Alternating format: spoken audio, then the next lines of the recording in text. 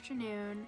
My name is Maritza, and welcome back to one of the um, Latino culture video series. Um, so, for the past two lessons, I have focused on traditional Latino and Latina artists, um, which, and what I mean by traditional is, um, you know, fine arts like painting and mural painting and sketching and illustrating, but I also want to focus on non traditional artists like poets and authors and dancers and singers because that's also um, a kind of art, but not in the way that we immediately think when we hear artist. So I wanted to focus on a Latina author that I really love myself. Her name is Isabel Allende. Um, she is Chilean, but she was born in Peru and she has written over 23 best selling books um, that were translated in 42 languages. So she is a widely known author across many countries, not just in Latin America. And um, she is very famous for her, her books. Um, uh, her magical realism books. And I'll explain what that is in just a second. Um, but I wanted to give you a little bit more backstory on her. As I said, she has authored more than 23 best selling books, um, including Of Love and Shadows, Island Beneath the Sea, um, The House of the Spirits, which was her first book, which started as a letter to her dying grandfather, um, City of the Beast, which is a personal favorite of mine, and Paula. Um, Paula was her daughter's name, who died at 29, and um, Isabel Allende has started a charitable foundation in her honor, so she is also a philanthropist um, as well as an author. So, um, many of her books are magical realist, and magical realism is a style of fiction that incorporates a very realistic setting, realistic plot with magical elements. And um, magical, the magical elements are included in the story without much explanation because the magical realist authors are trying to normalize the magic in their stories. So, for example, in City of the Beasts, which is one of her stories, um, a boy is sent to live with his grandmother who does research in the Amazon, and um, they go to the Amazon together, and he discovers the beast of the Amazon, which is the magical element of the story, but otherwise, it is a completely realistic story. It's set in the 2000s. Um, you know, he, he flies to New York in an airplane, he uses the subway, they um, travel, and otherwise, it's a very realistic story, except for the magical elements. Um, so there are um, her stories are mostly mostly um, the style of magical realism, and there are many other Latino and Latina authors who use this. Um, magical realism is associated mostly with Latino and Latina culture because Latino authors um, really made magical realism what it is today. So I wanted to um, do an art project and a writing project um, in honor of Isabel Allende today. So I wanted to show you some examples of magical realism, not only in literature or books, but also in art. So again, um, magical realism in art takes um, the realistic and blends it with the magical without much explanation, um, again, to sort of normalize magic in our everyday lives.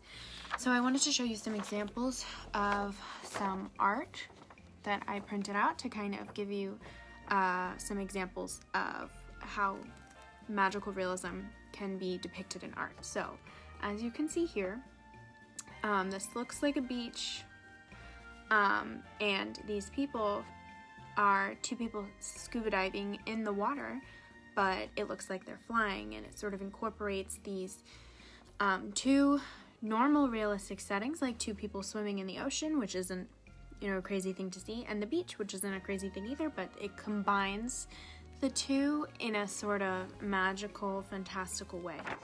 Um, and again, here you can see over here that here are kids in their bed, jumping on the bed in their pajamas. Um, and here is the, um, the blanket. It kind of looks like a field, and then it turns into these fields uh, from a from a, a view from a plane. If you look down on um, fields of you know farms, it looks like this. And so again, it takes something very normal, like children jumping on the bed before before it's time to go to sleep. And it turns into this you know magical scene of, of this girl flying over um, some fields.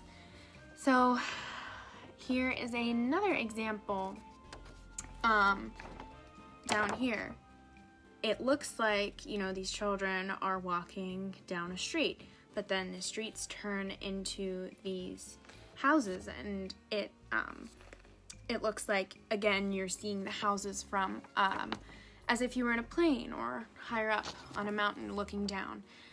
And lastly, I wanted to show you this piece because um, this is by Frida Kahlo.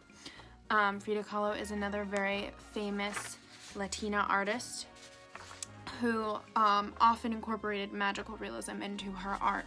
So as you can see here, um, this is Frida Kahlo. She did a lot of self-portraits. This is her head, and she is attached to the body of a deer who has been hunted in the woods.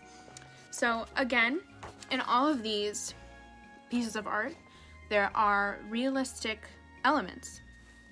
Um, children in bed, jumping on the bed, people swimming in the ocean, uh, deer being hunted in the woods, um, children walking along a street with a nice view of the water. But they blend the elements in a sort of magical way. So the project for today is to create your own piece of artwork using magical realism.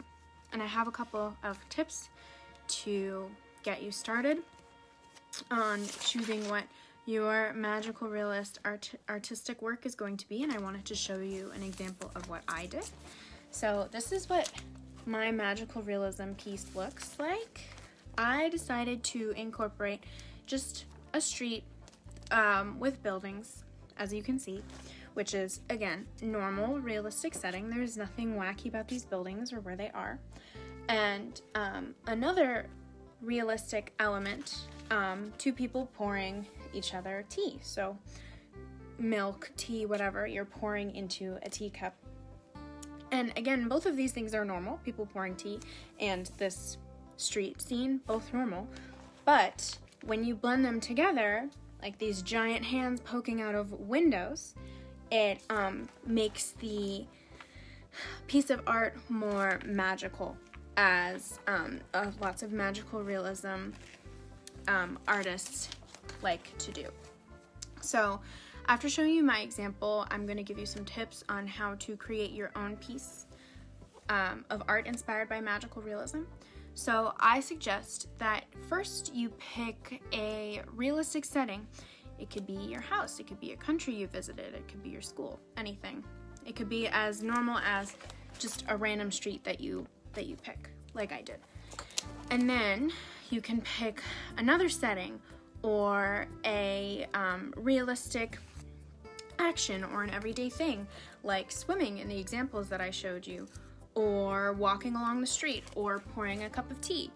And what you're going to do is then figure out how to incorporate those two things into the same drawing or painting, however you want to do it, um, to add that magical sense. Um, if you get stuck, you can look on Google Images for inspiration. If you just look up magical realism artwork, uh, lots will pop up. That gave me some inspiration for mine. And um, after you draw your um, piece of art, I want you to then write a story about the artwork that you drew. Again, trying to include the elements of magical realism, which are a realistic setting, and some magical elements that aren't really explained in the story in order to normalize magic in an otherwise realistic setting. Um, so, you want the magic to be included in the story and not viewed as weird by the characters. You know, so for example, Harry Potter is not considered magical realism because that is um, an unrealistic setting. Hogwarts and all the magical, um, all the magical, the wizard places and cities that they have, those aren't realistic settings. Um, but, for example, in Isabel Allende's book, The City of the Beasts, they um, are in New York and in the Amazon rainforest, which are both real, realistic settings in today's world. So that's what you want to do. And um, the idea is you write a story behind the piece of art that you do. So, um, if I was going to write a story about this piece that um, I wrote, I would probably choose to write from the perspective of maybe someone walking along the street and seeing this happening, maybe pouring tea or passing the sugar or making someone a sandwich, these giant hands making the sandwich and, you know, passing them to the other giant hand. Um, and however you want to do it is great. You can also, if you get stuck on the actual artwork first, you can start with a story that you want to write.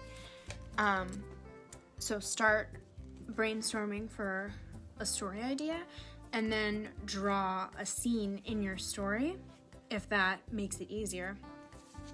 Um, because I found it pretty difficult to come up with a way to